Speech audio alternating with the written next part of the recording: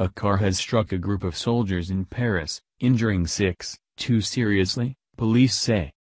An urgent police operation is now underway to find the vehicle, reportedly a BMW, and driver involved in the incident in the northwestern suburb of Levallois-Perret.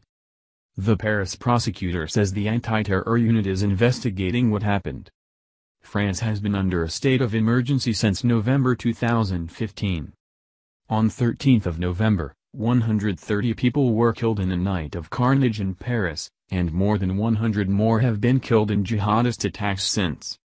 They include a string of assaults on the heavily armed security forces who now dot the streets of the capital, the last only four days ago.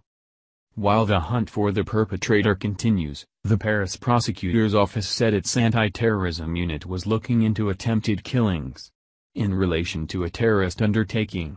Wednesday's attack at about 8.15 local time, 6.15 GMT, took place outside a military barracks on the Place de Verdun in Levallois-Perret. The local mayor, Patrick Balkany, told BFM TV.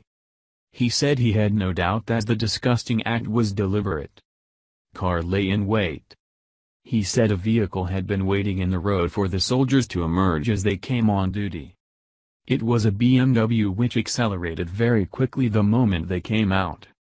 A resident in a nearby block of flats, Jean-Claude Vallant, told reporters he saw part of the attack.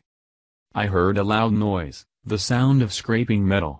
Shortly after, I saw one of the badly wounded lying in front of the Vigipirate, Army Patrol, vehicle and another one behind it receiving treatment, he said.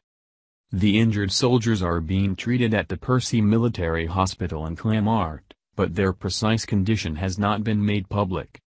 Recent attacks on Paris security services